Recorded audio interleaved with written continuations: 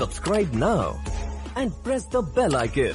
Never miss an update. स्वागत है आप सभी का श्री विद्भूषण के यूट्यूब चैनल पर आज फिर से एक नई जानकारी के साथ आप लोगों के बीच उपस्थित हुआ हूँ बहुत ही बड़ी जानकारी है आप लोगों के लिए आज हम बात करेंगे रीट परीक्षा पास कर चुके सभी अभ्यर्थियों के लिए पंद्रह हज़ार पाँच सौ पदों पर शिक्षकों की भर्ती की जाएगी इस पे पूरा हम चर्चा आपको इसी वीडियो के माध्यम से करने वाले हैं। बस आप वीडियो में इन तक बने रहिएगा। अगर वीडियो आपको पसंद आएगा, तभी आप वीडियो को लाइक और शेयर करिएगा। सारी जानकारी हम इसी वीडियो के माध्यम से पंद्रह भर्ती को लेकर देने वाले हैं। चलिए वीडियो की शुरुआत करते हैं।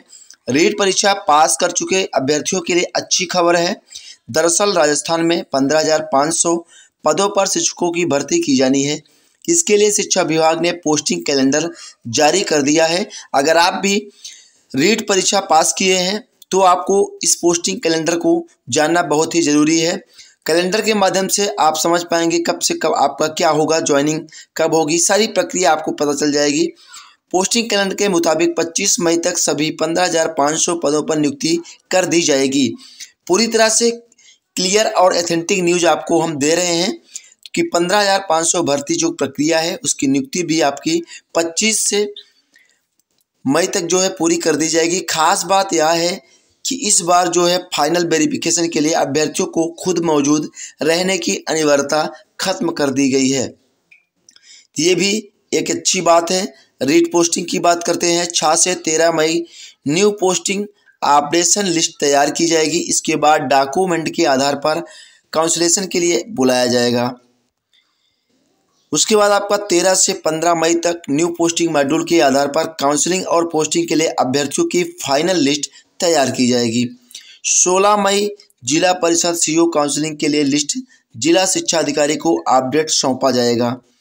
ये आपकी सारी प्रक्रिया जो है पोस्टिंग को लेकर है। 18 मई की बात करते हैं। 18 मई को शिक्षा विभाग की ओर से साला दर्पण पोर्टल पर अभ्यर्थियों की काउंसलिंग लिस्ट अपलोड की जाएगी। 19 मई को जो है शिक्षा विभाग की ओर से अभ्यर्थियों की वरीयता सूची जारी की जाएगी। तेईस मई को सिलेक्टेड अभ्यर्थियों को स्कूलों का विकल्प भरवा कर स्कूलों का आवंटन किया जाएगा। 25 मई की पोस्टिंग ऑर्डर जारी कर दिया जाएगा। तो ये इतनी सारी प्रक्रिया बहुत ही जल्द होने वाली है। रीड 2017 का जारी हुआ था कटाप तो इसके जो है आपको अगर देखना है तो चलिए इस पर भी बात कर लेते हैं। सत्रह अप्रैल को कट ऑफ़ जारी हुआ था। बता दें कि पंद्रह हज़ार पाँच सौ पदों पर भर्ती के लिए फाइनल कट ऑफ़ सत्रह अप्रैल दो हज़ार बाईस को जारी किया गया था। कट ऑफ़ डिटेल आपको जो है, जनरल वर्ग एक सौ तैंतीस अंक और ओबीसी एक सौ इकतीस वर्ग, एक सौ इकतीस अंक ओबीसी वर्ग और एससी वर्ग एक सौ पच्चीस अंक। तो ये कट ऑफ़ रहा था। अगर आप भी एग्ज़ाम दिए हैं तो आपको पता होगा।